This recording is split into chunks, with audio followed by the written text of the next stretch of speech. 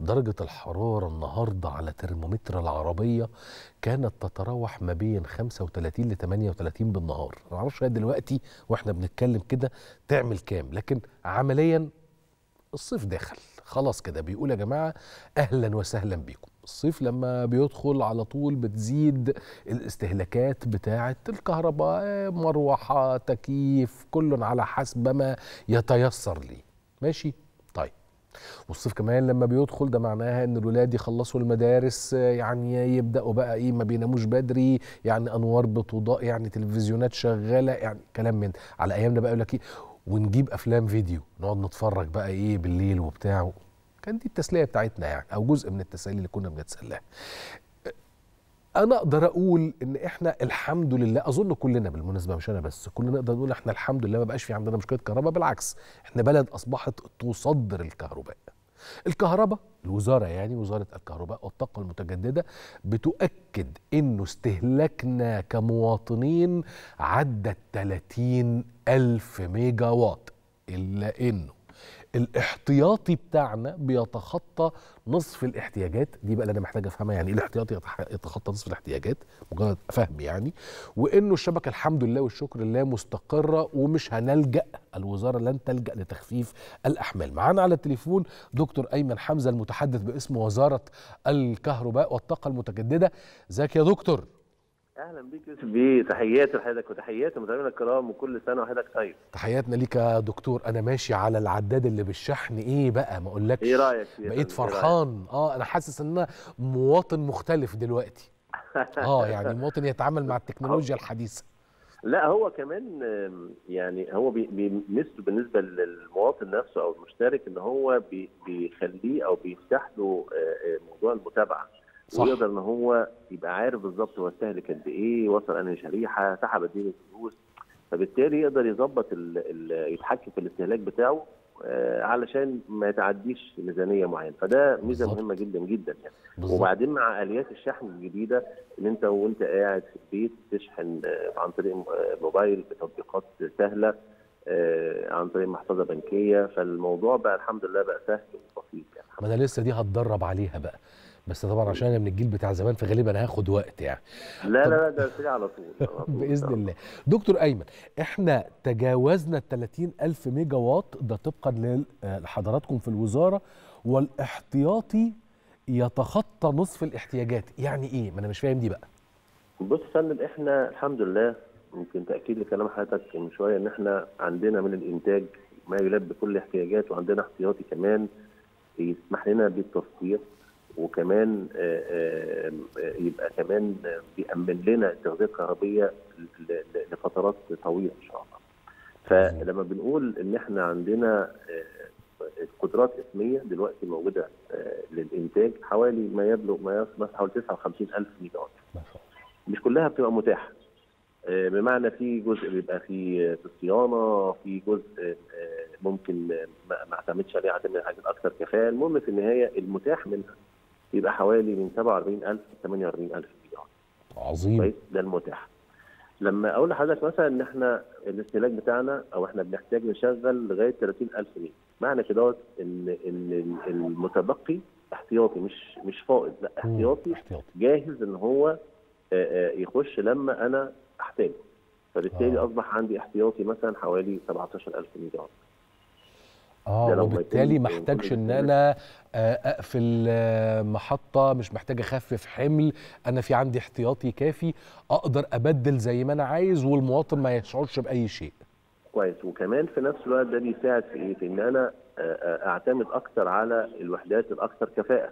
أكثر صح. كفاءة يعني إيه؟ يعني أقل استهلاك للوقود زي محطات اللي هي المحطات الكبيرة اللي هي بالتعاون مع السيمنز بالإضافة إلى التكنولوجيات الحديثة وكمان بيسمح لي بان الوحدات اللي موجودة تقدر تطلع برامج الصيانة بتاعتها بحيث إن أنا أحافظ عليها وفي نفس الوقت تديني الكفاءة العالية.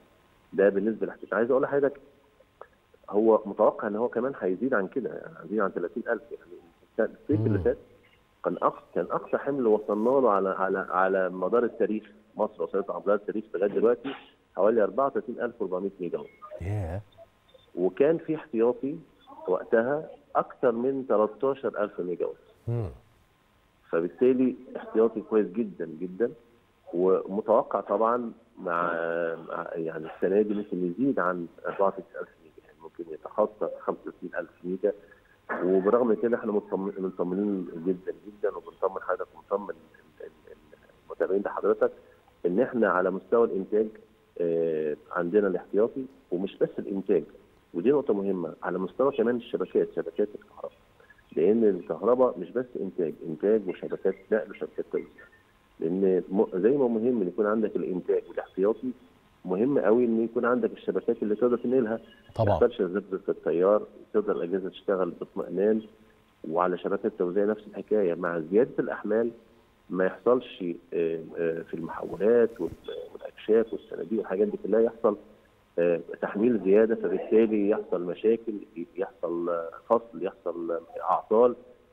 فده ده مهم جدا جدا التوازي مع الإنتاج. والحمد لله إحنا يعني ال- الجزئية دي الحمد لله يعني طورنا فيها يعني على مستوى شبكات النقل بدرجه كبيرة جدا. عشان كده تلاقي صعيد مصر أهالينا في الصعيد ما بقاش في عندهم المشكلة اللي كانت موجودة قبل كده الأجهزة مش قادرة تشتغل أيوة. إن في مشكلة في استقرار التغذيه الكهربيه في الدلتا في الأماكن البعيدة عن أماكن الإنتاج طيب دكتور أيمن. بما إن إحنا اسمنا وزارة الكهرباء والطاقة المتجددة وأنا عارف إن مصر بتقطع أشواط ضخمة في مسألة إنتاج الكهرباء عن طريق الطاقة المتجددة ده بخلاف إنتاج الطاقة الجديدة والمتجددة والنظيفة والخضراء وما إلى ذلك.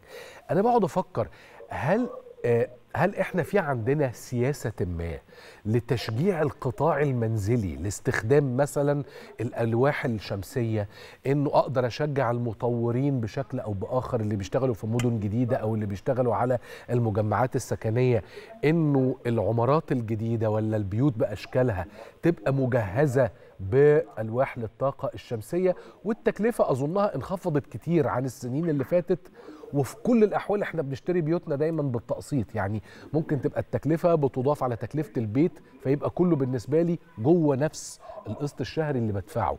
مش ده هيبقى مفيد بالنسبة لنا ولا ولا شايفين إيه؟ لا بالتأكيد. وهو فعلا دي نقطة مهمة جدا دي سياسة إحنا ماشيين عليها طبعا آه، مع جهات متعددة. يعني بنتكلم على كهرباء بنتكلم على إسكان بنتكلم على تنميه محليه بنتكلم على حاجات كتير جدا في التوسع في الطاقات الشمسية بالذات الطاقات الشمسية بالنسبة للمنازل.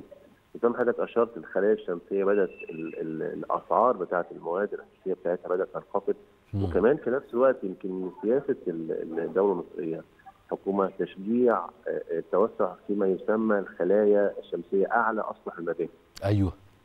واخد حضرتك وبدأت بالفعل التشجيع ده من خلال ما يسمى عدادات القيم. يعني عداد بيتركب مع الخلايا إنتاج الخلايا الشمسية ديت بيمر على عداد وفي نفس الوقت الشبكة الكهرباء العادية القومية آه. بتمر على العداد ده. صح. انت حضرتك بتنتج من الخلايا الشمسية دي بتدي الشبكة وفي نفس الوقت انت بتستهلك من الشبكة. مم. فالإنتاج بتاعك بيحصل مق... العداد ده بيعمل مقص مقص ما بين الإنتاج بتاعك وبيتم حسابه بأعلى شريحة. وما بين الاستهلاك بتاعك بحيث إن هو يقلل لك ده أول حاجة يقلل لك قيمة ال- ال- الاستهلاك بتاعك. ثاني حاجة آه، بتبقى طاقة نظيفة. وفي نفس الوقت آه، آه، الشركات زي ما حضرتك أشرت الشركات والمطورين اللي بيعملوا في هذا الاطار المجال دلوقتي بقى عندهم في إقبال كويس جدا. ده سمح بدخول آه، آه، البنوك والوكالات التمويل بحيث إن هو يقسط للراغبين في إنشاء الخلايا الشمسية. وكمان في نفس الوقت عايز أقول لحضرتك شركات التوزيع. إحنا عندنا- تسع شركات توزيع تبع الكهرباء. أيوه. آه، بقت تعمل نفس القصة إن هو ممكن تركب الخلايا الشمسية ديت بالتقسيط لل- للراغبين في القصة ديت عن طريق اللي هو عدادات صفقيه سميث ميتال وفي إقبال الحمد لله آه، يعني كويس جدا جدا. ومتوقع إن شاء الله ممكن آه، آه، مع كمان لأن إحنا الحمد لله عندنا نسبة السطوع بتاع الشمس يعني كويسة جدا. وكمان في نفس الوقت مع التطوير اللي بيتم في تخزين وسائل التخزين الكهرباء.